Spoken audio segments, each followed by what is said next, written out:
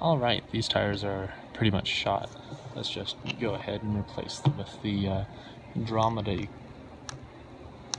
equivalent.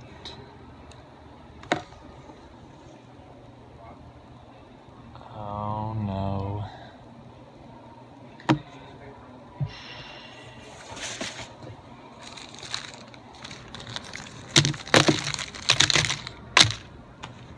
Great. Well, one of the problems with uh, vintage vehicles like this are uh, lack of parts availability. Uh, this is my Sportwerks Chaos 8.5 millimeter hex, and the Dromida wheel is a 7 millimeter hex. I like the Dromida wheels, they're readily available, they're well made, and I really want to be able to use a 7 millimeter hex. But this is an 8.5 millimeter hex equipped vehicle. So I did my research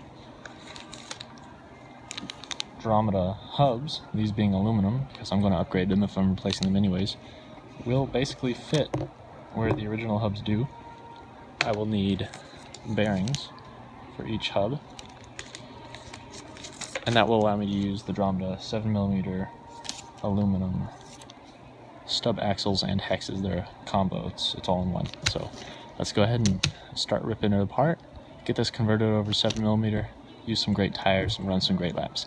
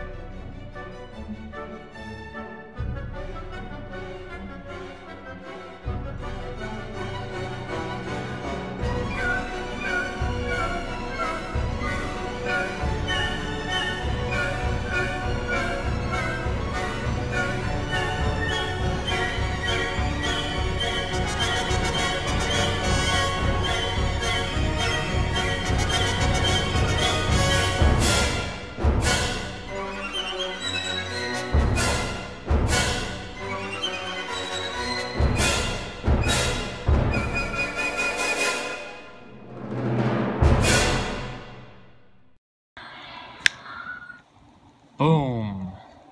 There it is. Some uh, hot racing brand Dromida hubs with aluminum Dromida stub axles using the original dog bone and uh, only very slight shaving to the top and bottom of the hubs to make it work in there. And it fits.